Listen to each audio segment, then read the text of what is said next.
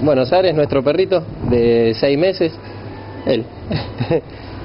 Él es el que el que ladró y espantó a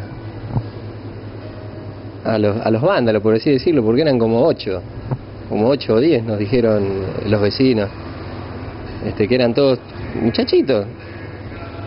Nos rompieron la cortina, levantaron la cortina metálica y nos rompieron ahí el vidrio, como, como pueden ver, y se metieron a las tres y media más o menos de la mañana.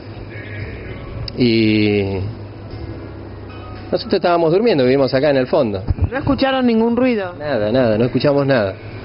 Solamente ladrar al perro. Y unos ruidos que son los ruidos que hace cuando juega, así es cachorrito, tiene seis meses. Y mm, cuando nos levantamos eh, vimos los cajones de, de- de- de- del, del escritorio que tenemos, que usamos como caja, que está en la oficina, eh, que estaban tirados en el piso. Faltaba la plata, la poca plata que había, que eran, no sé, un poco de cambio. Y lo poquito que se vendió ayer a la tarde, a la noche, a la última hora, que lo dejamos ahí. Y nada más.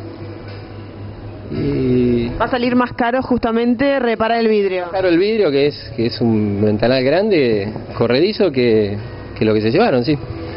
Pero bueno, lo, lo más cómico que, que fue es que, bueno, la nena cuando se despertó, la hija de mi señora, la nena de acá de la casa, dijo que escuchó ladrar el perro, así, ruido y ladrar el perro. Y bueno, evidentemente ahí, porque está la computadora, está, hay un montón de cosas de valor. Y no alcanzaron a llevarse nada. Se Ustedes presumen que se asustaron por los ladridos del perro. Por los ladridos del perro y sí, los debe haber sacado corriendo porque... Y se fueron.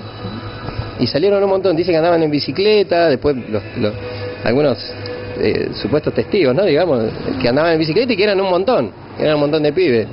Eh, incluso encontramos barretas, eh, fierros. Ahora, ¿cómo vienen viviendo la inseguridad en este último tiempo? Nosotros mal, en 15 días, dos asaltos a mano armada y bueno, ahora esto.